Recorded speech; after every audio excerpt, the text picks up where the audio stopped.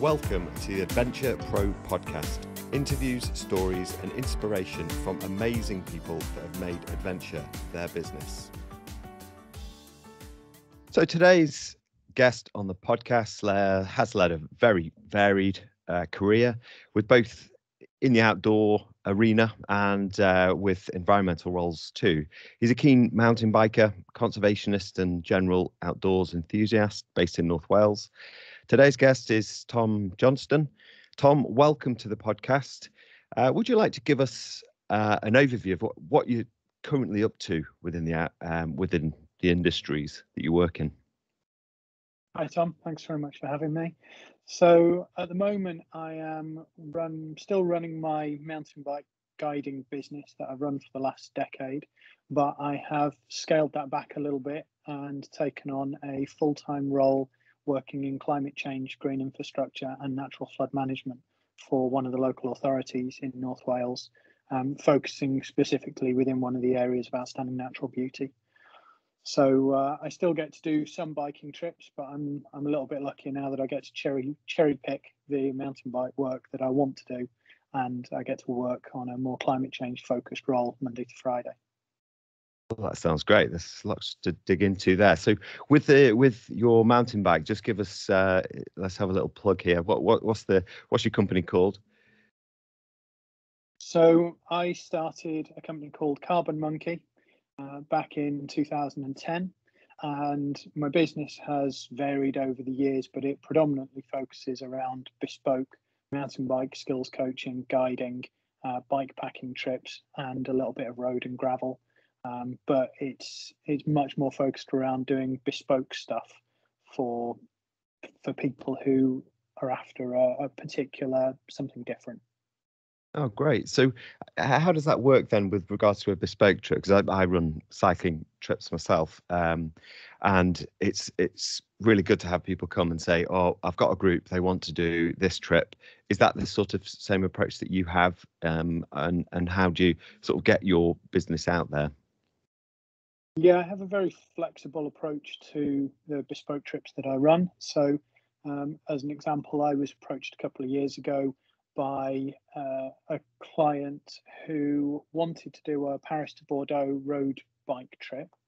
And they already knew exactly what trip they wanted to do it, when they wanted to go, where they were going to stay. They'd done all of the trip planning themselves, but they needed somebody to help facilitate the trip and move their bikes out to France, move their bags between hotels, be a mechanic who was on call if they had a major failure, that sort of thing. And yeah, I was I was totally up for doing that. It was a lovely, lovely, fun and, and pretty low key. But yeah. then on the opposite end of the scale, I've got a, a group of guys who have come back to me probably on their seventh or eighth trip now, and they will just ping me a a date of a weekend that they want to get together and ride bikes somewhere in the UK. And typically, we will always, those guys will always do either road or gravel, but we're getting a little bit more adventurous as the years roll on. And then it's all up to me. So I can put a couple of suggestions to them about, you know, we could go here and go bothy to bothy, or we could go here and go hotel to hotel. And I'll pitch a couple of ideas and they'll they'll go, that's the one we want to do and then I'll I'll put it all together for them.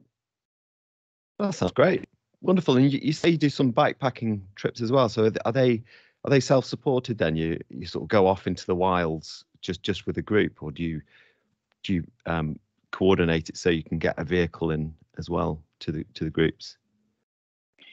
Typically, with the bikepacking stuff that I do, we'll go we'll go properly self-supported um, and and off grid. Um, I've been doing bikepacking trips with clients for quite a number of years now, um, probably just about since before bikepacking was a, a term um, yeah. that was really used. Um, you know, back when it was just multi-day mountain biking. Yeah, yeah. Um, and you know, I will do that for my own private clients, but I have also done that for for other people who know that they need a specialist who's got both the mountain bike and the the multi-day sort of backcountry skills. So uh, I've done a lot of um, a lot of expedition work for the Ministry of Defence on their programs, and I've worked for other guides and, and plenty of other folks in the industry who go oh, we need somebody a bit bike packy here. Who who's who's in that avenue? Oh, yeah. Tom is. Let's give him a call. Oh, brilliant. So yeah. Oh, great stuff. And, and and is it? Have you always done biking stuff, or uh, just a gen? I know that you're a sort of general outdoors um, enthusiast, but what what made you focus down and, and drill down onto bikes instead of other aspects? Yeah, so I started mountain biking when I was 11. Um, started climbing and paddling similar sort of time. You know, I grew up in an outdoorsy family in North Wales. I was I was very slow to get into the industry. I didn't realise it was a, a career option. Uh, the careers advisor kept you know suggesting I became an architect or a graphic designer or something, and and I stumbled into the outdoor game by mistake. Um, and you know, I I did a BTEC course and then a, a uh, an undergrad degree in outdoor and environmental education. So that was sort of the early 2000s, and there was very, very little money in mountain biking or cycling um, as a guide back then. So if you wanted to earn your bread and butter, you needed to be a mountain leader, a paddle sports leader, climbing instructor. And so I became a real jack of all trades and uh, freelanced and worked in centres. Um, but it was always the mountain biking. You know, the mountain bike was what I went to on my days off, and if there was ever mountain biking on the um, on the activity list for the week, that was what I was chomping at the bit to get onto. And so I just pushed it as my own avenue of interest, really. Yeah. And uh, you know, I I got qualified, and um, you know, I'm I'm level three mountain bike leader. I've done the night, the winter, the exped, the bike mechanics, the British cycling courses, all of it. And I was investing huge amounts of time and money into those qualifications and constantly being told, you're doing this because you want to, not because you're going to earn any money, right? And, you know, certainly for the first probably 10 years of being a mountain bike guide, I spent more money on qualifications than I earned. Um, but it did mean that ultimately I got to this tipping point where suddenly I was one of the go-to guides in the country in terms of experience and qualification and it took a very long time to get there but when it did get there then i got fantastic work being offered to me and finally started to recoup a little bit of the cost i'd invested so do, do you think that w- that was a, a, tipping point then can you can you actually pinpoint a time in your career where you know you'd gone through all those qualifications you'd, you'd gained all the experience and then suddenly what did you email emails just started pinging off, or how, how did it work in, in in reality? There was a couple of tipping points, but I think that was probably dragged out over a number of years due to my personal circumstances in life and at home at the time. And and if life had been different, they probably would have all compressed down and, and it would have all flipped in a year. Um, I guess my first real break was I did a, a just a solo bike packing trip in the Norwegian fjords uh, in probably 2014 or 15 and i was out there to recce a route for a gold DofE hiking group and so i basically did a four day walk in two days on the bike. And i took a bunch of photos and i wrote a blog and somehow that blog got picked up by some of the bike packing websites and then it got picked up by Singletrack magazine, and that then got me in with Alpkit, and I, you know, that led on to me helping them with some of their product development, and you know, just started to open doors as a as a supported rider or as a sponsored rider, and I started getting noticed a bit more. And of course, as soon as I started getting that level of additional support, you know, tweets and Instagram posts being liked and retweeted and stuff, um, that then led on to probably 2017 was my biggest year working on the bike, and I combined uh, quite a bit of private client work with a lot of work for other people and also some journal journalistic work on. And so I spent I spent something like 160 or 180 days sat on the bike being paid for it that year, and then did probably another 40 or 50 days just riding for myself that year. Um, and That was all by the, that was all before the end of end of October actually. So I more or less spent like six and a half days a week on my bike for the whole year. And, that and, sounds so good. it was awesome, but I got I got to the end of October. I remember I'd run a five day course for the cadets in North Wales, and I'd had a fantastic week. And they'd been a great group. We'd done some awesome rides, and I got off my bike on the Friday afternoon and I threw it muddy and wet and horrible into the back of the van. And on Saturday morning, I met up with a mate of mine and I sold him my bike. and and I didn't have a replacement. I didn't have one to to ride on Sunday. I was like, I need some time off the saddle. Yeah. oh, brilliant!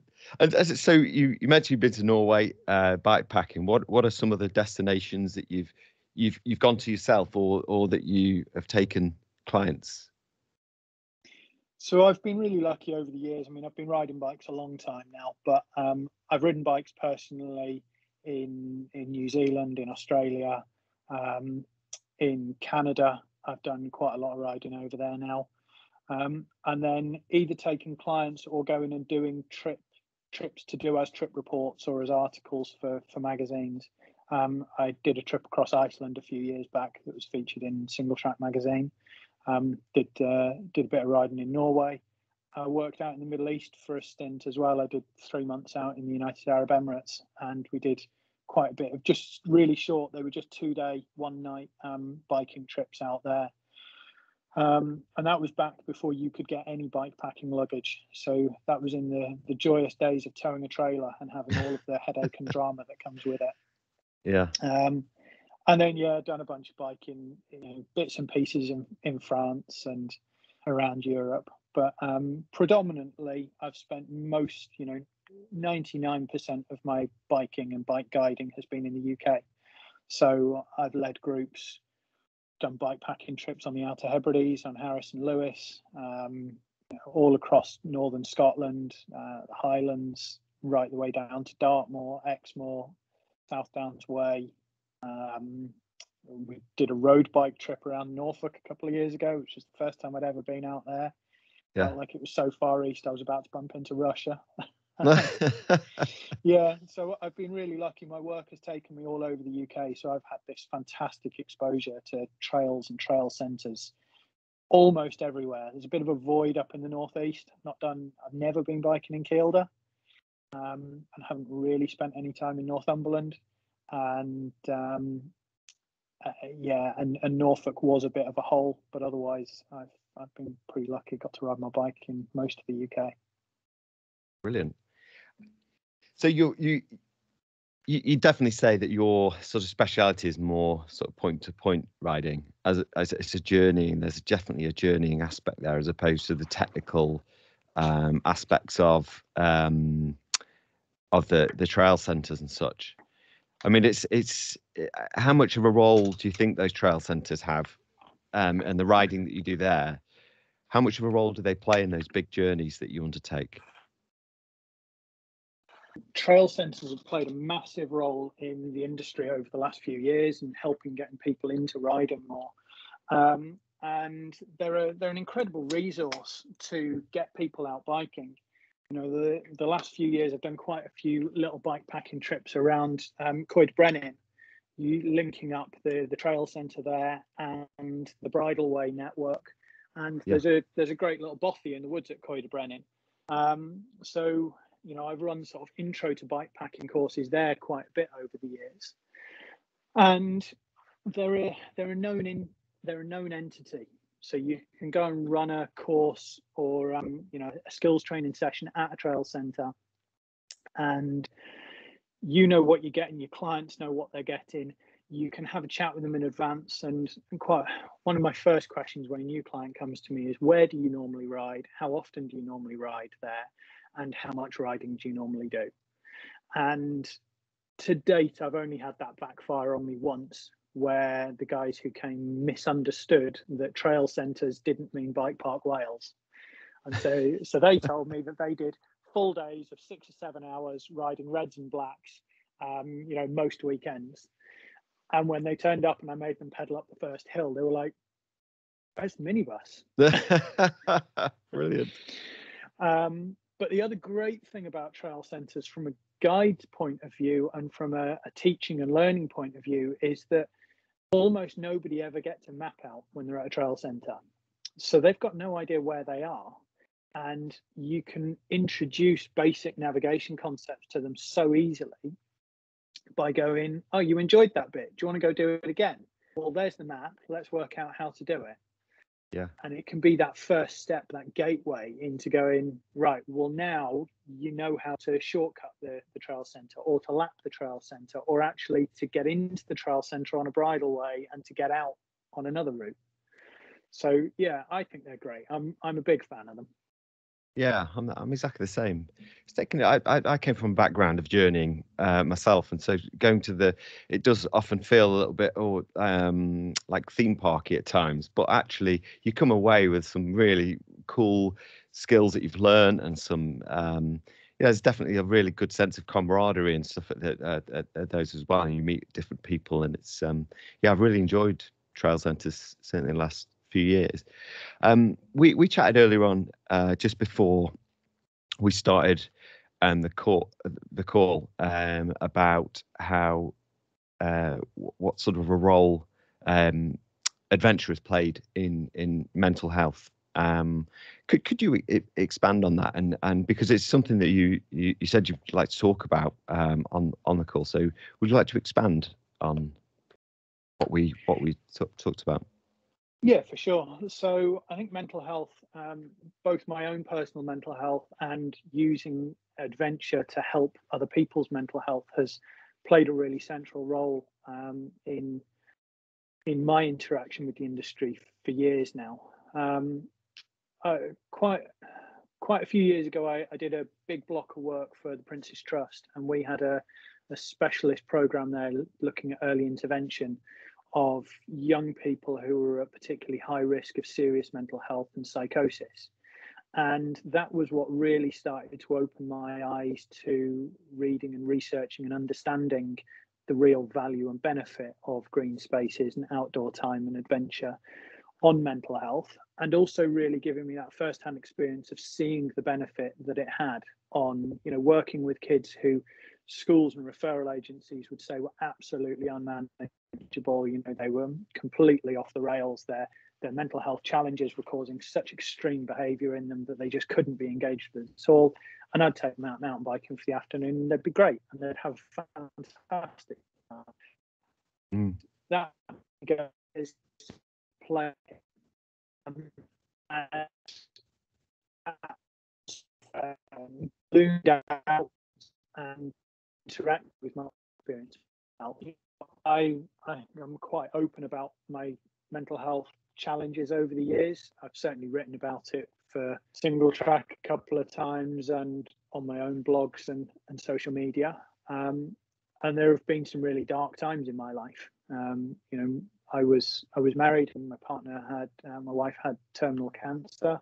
She died in 2016, and that was an extremely challenging time both in in the run up to her death and in the the time afterwards. And i'm absolutely certain that it's adventure probably adventure and friends the only things that got me through that period. Um, you know the the year after catherine died i was the year that i went a bit sort of bike crazy and just did everything.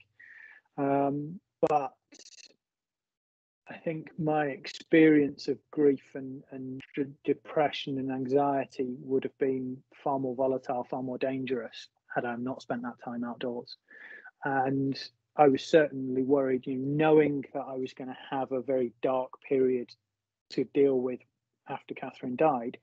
You know, I had two and a half years notice of that, so I knew that was coming, and I was definitely very concerned about not falling off the rails myself, you know, not turning into the bottle or not going into a really dark place. And and actually, you know, I was quite frank and open about that conversation with friends. And so people just dragged me outdoors. And, you know, I went biking and coasteering and canyoning and climbing and everything. And that first winter, I'm pretty sure I only got through because of people dragging me out. Um, and so now I'm a massive advocate of, of time outdoors. And I think the key things for me are if somebody's in a really dark place and is really, you know, is really stressed or depressed or anxious, um, just getting outside, fresh air and and green space in any form can really be key. But choice is stressful. And this is something that came from a conversation I had with Mike Hall years ago, um, before he sadly um, passed away. And and it, he was talking about massive, massive bike trips and you know riding through the night. And I said to him, "How do you do it at four o'clock in the morning when it's raining? You've been awake for 26 hours and you're still pedaling. How do you do it?" And he said, "Oh, you just remove choice. Take choice out of your mindset, and the stress goes away, and you just keep spinning your legs."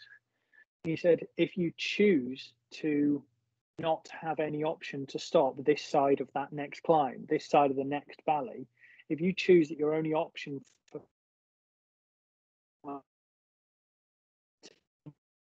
you will keep riding. And I took that into my my thinking around mental health and just went, actually, if you're with somebody who's in a dark place, don't offer them a cup of tea or a cup of coffee. Make them a cup of tea. And if they don't want it, they'll tell you they want coffee. And if you know somebody is into the outdoors, just turn up on their front door, knock on the door and go, come on, we're going for a walk or we're going for a ride and we're going here. And you know, you do something low key and easy and super accessible. And if you get down onto the seafront on the bikes and they go, actually, I want to ride something techy and gnarly in the woods, you go, great, let's go up to the woods. But what you don't do is just ping them a message and say, hey, if you want to go ride bikes or get out, then let me know. Because it, it leaves too much choice, it leaves too much option, and that choice is stressful. Wow, that is a valuable, valuable insight. Really appreciate that, and really appreciate you sharing all of that, um, Tom. That was um, really quite moving. Um, are there any sort of resources that you, so someone's um, feeling similar um, feelings to to the, to, to you um, and is in a really sticky situation, but they don't have those friends who are going to come around and, and do that necessarily or or aren't in the outdoors aren't involved in that are there, are there any resources that you could point people towards so there's a fantastic, um, I think it's actually Australian um, sort of website and, and concept called It's Okay to Say. It's focused around getting predominantly getting men to admit when they're not in a great place. Um, you know, it's okay to say that you're not okay, is, is what that's about. Um, and that really helped me. And then I've really just been gobsmacked at the how how open almost the entire community is to you putting it out there that you're not in a good place. And I guess I was a fairly early adopter of that with being so public, you know, and, and certainly publishing articles where I talked about my mental health. And when you look at the comment feed on some of those articles, there's just comment after comment after comment of I felt exactly the same. I've never been brave enough to speak out, or thank you so much for speaking out. You know, you're not alone. I feel the same way. Um, you know, I started a little Facebook group years ago. You know, it's it's sort of it goes through peaks and troughs of people needing it and engaging with it or not. But um, in that, I just I I added in anybody that I knew who was a bit outdoory or a bit open to mental health challenges and started posting really openly um, you know about how i was feeling and what that did was started a conversation and everybody was so positive and so responsive to it. Um, i remember one of the posts i put out on social media was you know people when you've gone through something you know if if your partner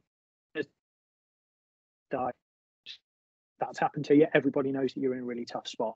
And people will ask you are you okay? Because of course they will. They they care and they want to show that level of compassion. But they'll ask you are you okay? At times where you don't want to have that full blown conversation about no i'm not okay. I'm falling apart. I'm absolutely in pieces. You know because you're in the supermarket or you're down the pub with your friends or you're having that five minutes of your day where actually you'd forgotten that your whole world's fallen apart. And so what you end up doing is going, yeah, yeah, I'm okay, shrugging your shoulders.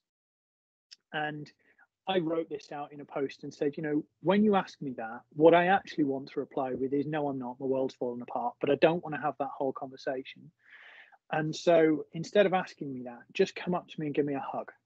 You know, and this was in the glorious days before COVID, where if uh, I, I was really huggy, and and if you weren't one of the huggy ones, I'm very sorry I imposed myself upon you. But um, yeah, I just said, you know, just just come up to me and you know I'm not okay because what I'm going through, but just come give me a hug. And and I was in the climbing wall one evening, completely forgotten about this post, completely forgotten about all of what was going on in my life. I was just focused on climbing. And a guy who I'd worked with 10 years before uh, in the Middle East and who I see from time to time, you know, out cragging and stuff, he just walked up to me and wrapped his arms around me. Didn't say anything, just wrapped his arms around me and held me in this hug for a good like 15 or 20 seconds. And I was like, oh, that's odd. That's not uh, like Tim gives me hugs, but never normally big long ones like this. What's going on? And eventually I relaxed into it and then just had this moment of, ah, okay, this is just Tim going, you know, I know you're not okay, but here you go, have a hug. And he gave me a hug and he was like, oh, what route are you doing? And just went back to being climbers. And that only came from putting myself out there and having that conversation. And do you know what? If if you put yourself out there as having mental health struggles or difficulties and anybody is a dick about it then the whole world is going to come down on them. So really don't worry about that. The world is full of kind and caring and supportive people who want to give you a hug or want to help you make the day a little bit brighter that is super cool i love that love that what a wonderful story wonderful um, oh, that, uh, what's the name of your Facebook group? Uh, it's called the Black Dog Dance Club because um, the black dog is generally referred to as somebody's depression. It's uh, I think it was a Winston Churchill thing. Right. His little his little black dog followed him around, and some days it was a little terrier, and other days it was a huge great bear that pinned him to the bed and stopped him from getting up. Really nice concept. Lovely. I'll check that out. Brill. Um, so we, we mentioned earlier on that you you are a you obviously do your um, mountain bike um, guiding, but but you're you're also a, a, an avid conservationist, and that's where your current role is. So what what is it you you do currently for work? What's your main job now? Yeah, so I'm climate change, green infrastructure, and natural flood management officer for the Clwydian Range and Dee Valley area of outstanding natural beauty. So I work for Denbighshire County Council. Yeah. And um, I'm in a strategic role. So I look at policy and um, guidance and reports and bringing together best practice and um, you know the, the most current thinking on climate change issues so carbon capture carbon reduction uh, carbon footprint stuff um, looking at the impact of climate change on our wild spaces, um, you know, increased drought events, the increased risk of wildfires, um, flooding, water inundation, um, pests, diseases, all that sort of stuff. And then green infrastructure, which is, you know, about making people's homes and work and urban environments greener, um, greener spaces, which as we talked about earlier, you know, we know is good for mental health. We know it's better for health and well-being, and we know that if we invested more money in getting people outdoor and active, and and and just a little bit outdoor and a little bit active, people don't have to start biking across Iceland. You know, if if you walk five minutes down the road to Tesco's instead of drive, that sort of outdoor and active has such a massive impact on physical and mental health and well-being that the NHS spending would go down if we invested more in green infrastructure and active travel. Um, and then I also get to to do a little bit of natural flood management and catchments work. So looking at rivers and water courses and and that's fantastic because you know I've been a paddler for a long time and so I get to go to some great places. You know, I was looking at doing otter surveys last week and going on to stretches of water and discussing how we can slow the water down when there's massive flood events. Yeah, it's an incredibly varied role, and I'm very, very lucky to be in it. That sounds amazing. Yeah, an otter survey. That sounds so good, so good. So um, there's obviously a lot of doom and gloom in the in the news about particularly about climate change. Can you give us some hope here? What are you really excited about? What really, what you, where, what gives you hope? So I've been a climate change activist or campaigner my whole life since before I was riding bikes. You know, my mum ran a Greenpeace group when I was five or six years old, and my earliest memories of being on the campaign stall. And I have spent my entire life knowing that climate change was happening and, and seeing the science and understanding what was coming down the road, but seeing the rest of the world around me carry on oblivious. And we are now finally at a point where everyone gets it. Society gets it, government gets it, local authority get it. You know, everybody now knows what climate change is and what is happening. And I was sat in a cafe in Dolgellau a couple of months ago. Um, a little pitch here. I don't get any kickback at all. But if you're ever in Dolgellau, go to TH Roberts. They do cake that will kill you. It is incredible. um, and and we were sat there having a piece of cake and a cup of coffee, and six just totally standard run of the mill builders came in for their fry up breakfast. And you know the, the kind of guys who stereotypically I'd expect them to start talking about the football or start talking about you know their car or just a normal general conversation. But no, they started talking about COP26 and about Greta yeah. Thunberg. Brilliant. And and and part of me felt incredibly guilty for prejudging these guys as you know sick local builders. Why wouldn't they be interested in climate change? Well, do you know what?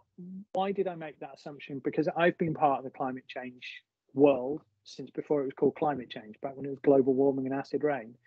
And that was the first time in my life I'd ever heard a bunch of builders sit down and of their own choice and their own volition start talking about climate change. I'm like, we're finally there. The tipping point, the, the consciousness and the mindset tipping point is there that we now get it. And now it's just a case of feeding that back up the chain and making sure that action is actually taken on the scale that makes meaningful difference. Brilliant. Brilliant. So more conversations are being had. That is brilliant, brilliant news. And it's so nice to hear it. Um, I, I just, I mean, I don't, I don't actively listen to the news a lot, but I have to say, whenever there's anything about climate, I'm just, oh man, this is yeah it all sounds so dire. So that's really nice to hear a positive positive story. So um, i want to be respectful um, of your time today tom. I've, I've got um, just a few questions just to just to, to close up. Um, so the first question is what piece of advice would you give to yourself 10 years ago so this is going to fly totally in the face of my climate change role but the the uh, I would say make the most of your working abroad opportunities now. Uh, you know, travel in an environmentally sensitive way, but get on those under 30s work visas for Canada, for New Zealand, for Australia. Get out to Europe and do a season whilst you still can before Brexit totally scuppers you and before you're and before you're too old to get an easy visa. Brilliant. That is a top tip. Love it. Um, Okay, so question number two What valuable resource, so for example, a book, YouTube channel, piece of equipment, blog, podcast app, or other, can you recommend to help others following a similar path? We've obviously already had a few resources. Are, are there any others? I'm afraid I've got a little bit of a cop out on this one. Um, okay. Because honestly, I think that people need to go and read anything and everything. And I see far too many people in the industry who get all of their knowledge base and information from one group of friends and from one national governing body and from one magazine. And whilst most of that information and content is great and is helping people to become better, safer cyclists and outdoors, what I don't think it does is develop the critical thought critical thinking that you really need to go really wild, really backcountry to be a really good, safe leader.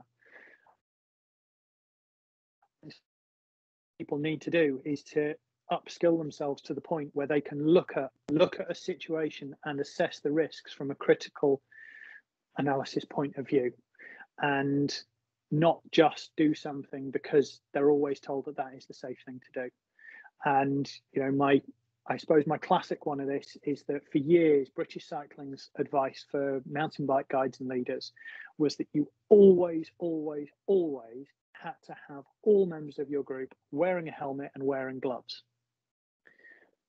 But there was no mention in their guidance of wearing glasses, eyewear. And I worked in central Birmingham at the time, and we did lots of mountain bike rides that involved loops on the canals and most of the water that was on those canal towpaths you didn't want in your mouth or in your eyes.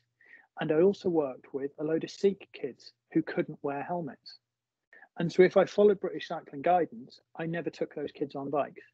And what I did do was take the other kids on canal towpaths where they got horrible mucky water in their eyes, and then the, the ride finished 10 minutes in.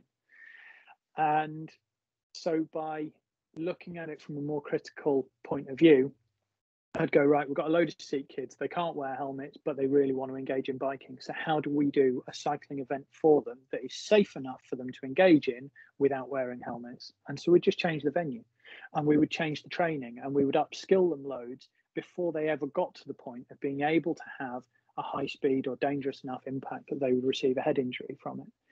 But you never get to that point unless you take information from the broadest spectrum of places available to you and develop that real critical thinking. Brilliant. That doesn't sound like a cop out at all. That sounds very valuable, valuable indeed. Um, so the, the, the final question, uh, what would you like to see change about the adventure and outdoors industry?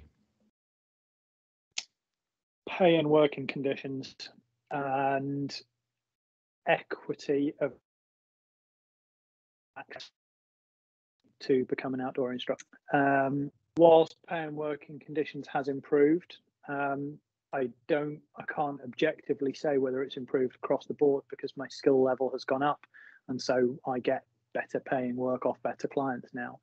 But I do still see work being offered that when you break it down and you look at how many hours you're doing working for that customer, you're getting paid less than minimum wage. And that's not only is it not acceptable, but it's also not safe. And we have seen examples in the past of people driving far too tired because they're having to go from one job to the next. I know countless freelancers who work seven days a week for six months straight through the summer. And that's not safe. And we need to just have fairer pay scale, recognizing people's skills and contributions, and safe working hours too many times have I been asked to do 16 or 18 hour days for a client. And you can't do an 18 hour day back to back whilst you're physically active and still be safe. So I think that really needs to change. And I think we need to look at ways of breaking down the barriers, the, the actual barriers that are really stopping people from a diverse range of backgrounds from getting into uh, outdoor adventure, participation, and leadership. And I think we've done a lot of work around breaking down barriers for getting women into the outdoor industry. But my concern is that there's still a whole swathe of people who are being missed. And I certainly know there's some young lads from really deprived backgrounds who have just not been able to get into the industry because they've not been able to bankroll it themselves and there's been no grant money available to help them because they're blokes. Um, and we are still an incredibly white um, probably I'd go as far as say white middle class um, industry. Mm. So h- how does that look in in reality, Tom? How how how are we going to how are we going to address that? Do you think some some sort of practical steps? Yeah, I think we need to take outdoor adventure to to a wider, diverse range of communities. Um, you know, I I certainly worked with a lot of kids when I was in Birmingham we had a, a, big black community, a big Asian community, and a big white community. And within about six months of starting working with them on bike trips, I realised that we were getting all the black kids and all the white kids coming on the bike trips, but none of the Asian kids. And I couldn't understand why, because they came climbing, they came paddling, they did other stuff. Mm. And I dug down into it and realised the reason why is because generally speaking, and it's a massive generalization, but generally speaking, white families buy kids for bikes and teach kids to ride bikes. And generally speaking, the Asian families that we were engaging with didn't. So we were hmm. working with 15 year old kids who'd never been on a bike before. And once we realized that and identified it, and we went, right, well, the solution is we teach, teach them how to ride a bike. Hmm. And mm. it's incredible the progression. You know, you put an adult onto a bike for the first time ever, and four weeks later, you can take the mountain bike in a Cannock Chase. You know, it doesn't take years, but it just takes a slightly different look at it, different perspective. Um, and then I think we seriously need to deal with the, the massive issues we've got around access, um, access to outdoor spaces. You know, and as as a couple of bikers talking to each other about this, that's going to be the particular bugbear. But we have got so many dead-ended bridleways. We have got so little legal mountain biking. You know, Snowdonia National Park has probably got 12 days worth of legal mountain biking in, mm. and that's it. All the rest of the stuff is off-piste. So as a guide, you can't take people there, and as a local, if you don't have the money to drive out, you don't have trails on your doorstep. So we really need to link up the the bridleway network and we really need to break down the barriers for adaptive equipment for disabled people. So many trails are not wide enough to get a, a trike or a wheelchair down them, not for any good reason other than crap tra- trail design or being overgrown. Hmm. And mm. You know, why are we still putting kissing gates and stiles into the outdoor, uh, you know, into the rural community? They serve no purpose. Just put a self-closing pedestrian gate, and then somebody on crutches, somebody a limited mobility, somebody with a guide dog, somebody in a in a in a wheelchair, an off-road wheelchair, can then get through it and get access to it, and then they can build up their experience level, and then they can potentially become instructors. Absolutely brilliant. Very well said. Yeah, I couldn't couldn't agree more. Brilliant. Um, just to just to close out, then, uh, Tom, uh, where where can people find out more more about you and, and what you're up to? So I'm not particularly prolific on on social media. I find it uh, hammers my mental health because I just feel like I'm never doing a good enough job of posting compared to all of the other uh, all the other adventure leaders out there who've got these incredible photos going up all the time. But if you're uh, prepared to take a mediocre Instagram account, then I'm on there at carbon.monkey. Um, you can also find me on Facebook at the Carbon Monkey.